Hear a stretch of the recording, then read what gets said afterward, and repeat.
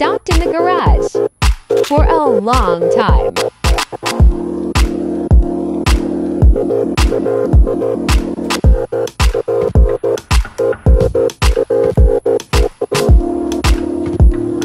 Different types of military planes.